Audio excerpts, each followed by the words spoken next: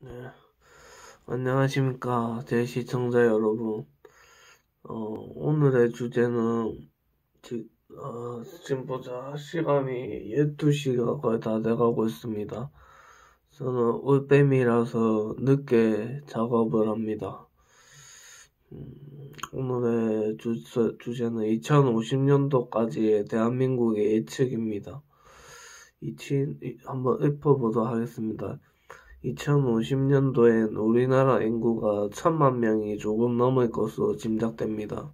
급격한 초고령화와 사망률은 그대로이지만 초고령화로 인해 사망자가 출생, 출생자를 훨씬 초과하여 인구가 급격히 줄 것으로 예상되며 부족한 산업 인력은 AI 인공지능과 외국인 노동자로 메꿔질 것으로 예상됩니다. 대한민국 부자들의 주 자본은 여전히 부동산일 것이며 1%가 가진 부가 나머지 99%의 부보다 훨씬 많을 것입니다. 그리고 우리나라는 일본과 비슷한 형태의 선진국으로 도약할 것으로 짐작됩니다. 우리나라, 일본의 과거가 곧 우리나라의 미래라고 보면 되실 듯 합니다. 저는 그렇게 예상하고 있습니다.